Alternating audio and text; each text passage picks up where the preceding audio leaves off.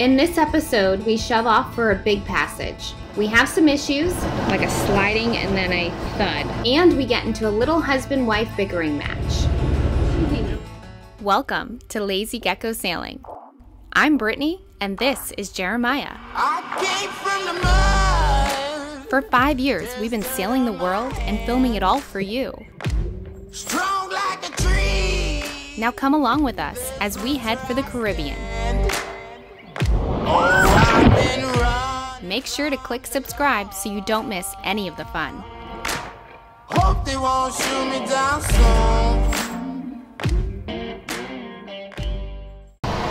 We heard a weird sound as we started pulling away after weighing anchor. It was almost like a like a sliding and then a thud. So we re-anchored and now we're checking the under the boat. We'll probably end up in the water. A Little unsettling. We're about to take our passage to. Babe? Yeah? Uh, go ahead, go over there, just put it in idle drive for about three seconds, put it in neutral. Okay.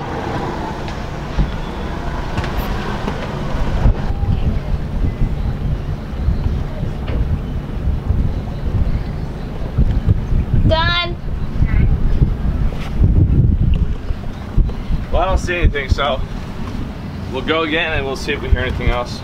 Okay.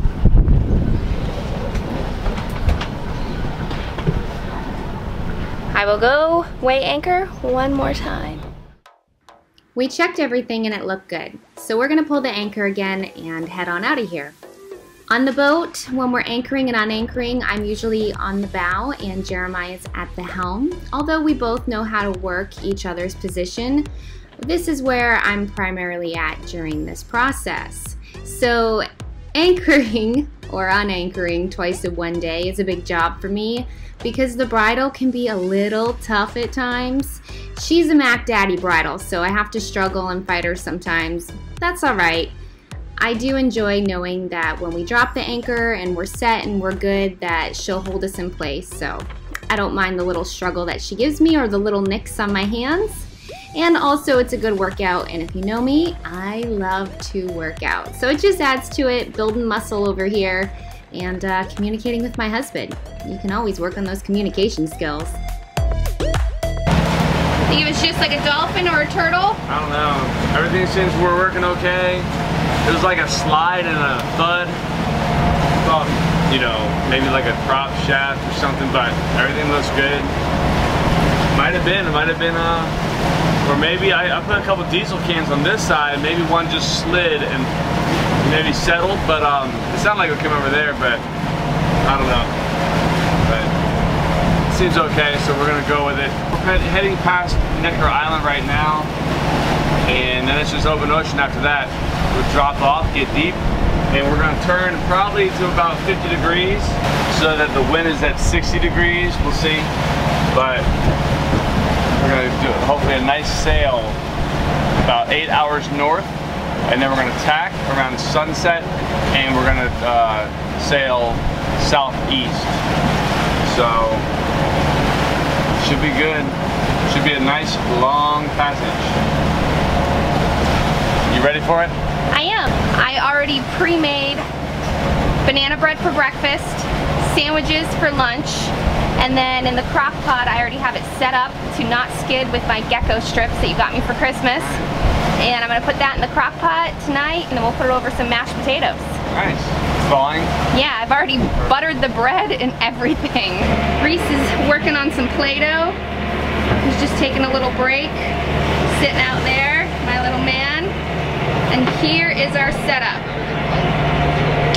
Strawberries and banana bread for breakfast. The sandwiches for lunch are in the fridge, staying cold crock pot for the beef stew tonight. I already buttered the bread. I have my bowls out, my spoons, salt and pepper, fully prepared. Yeah. You ready? Yeah, we got movies playing to keep Reese busy. And then we're about to raise the mainsail.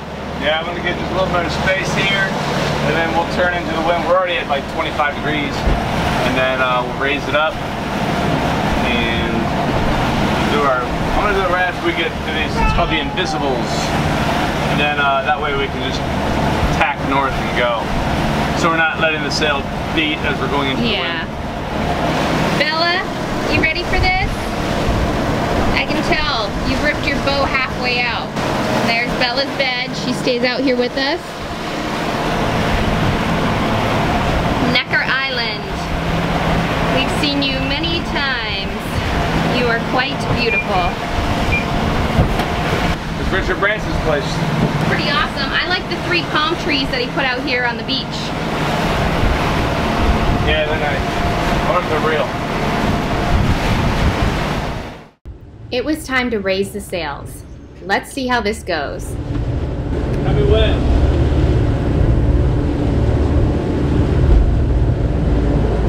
I think you're good. For the wind? It keeps going back and forth because the boat's all over the place.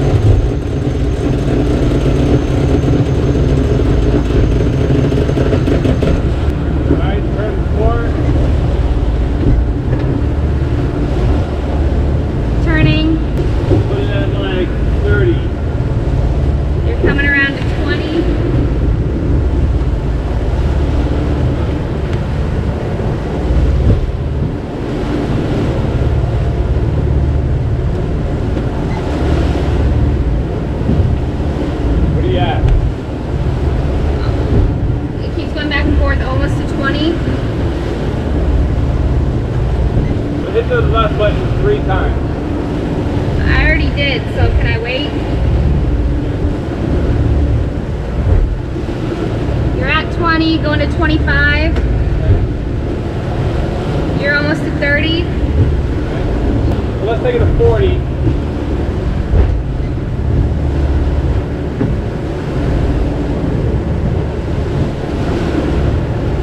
Where are we? 35. 35? Yep. 40. Alright. Try to maintain that. We'll look at what we're doing with our right here. We're at 40. I'm going to hit to port twice. You're at 50.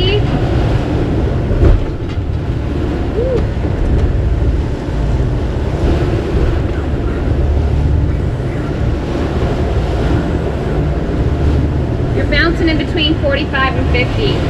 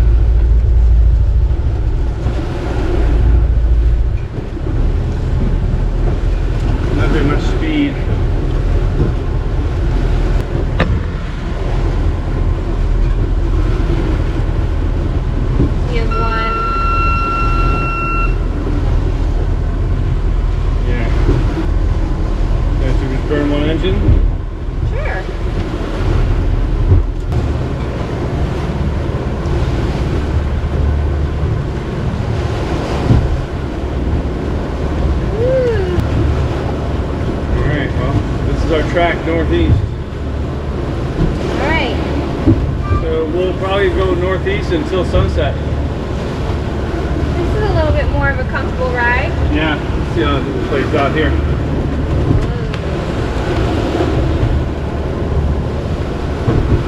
I want to maintain five knots, so you know, we're not going to get that with just the sails. maybe yet. Yeah. Yeah. We made our turn south towards Saba Rock or Saba Island. Uh, we have one engine going, the port engine. We're averaging between six, six and a half knots. We have a knot to a two knot current. Our wind is 16 knots, 16 to 17 true. And we're sailing at about 70 degrees, so all going well. We have the full main out and we have the jib reefed at the first reefing point. Um, we're heading down, down there. It says about nine hours till we get there, so we're going to shut the other engine down as soon as the sun goes down behind me. And uh, just sail slowly so we can go by in the morning and make our assessment if we want to stop or continue to St. Kitts. So, all's going good.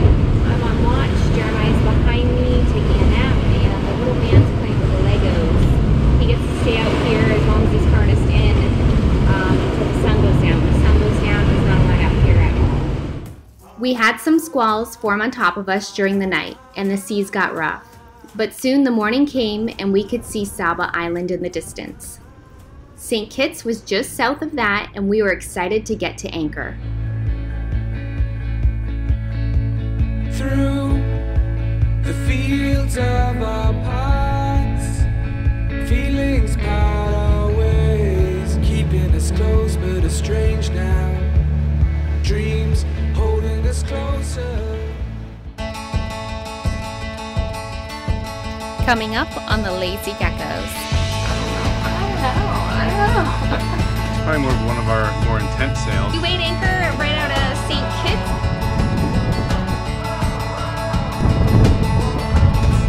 Nice. Cheers. Major fail. Lava wax. You're looking for hot lava rocks. Yeah. Black rocks from the volcano. What do you think of those monkeys? There he is. He's looking at me. So what did we decide, dress or skirt? What kind of fish? Awesome sail. Oh yeah. One of eight monkeys are oh, you know that once they get their vex. Oh, somebody got stepped on.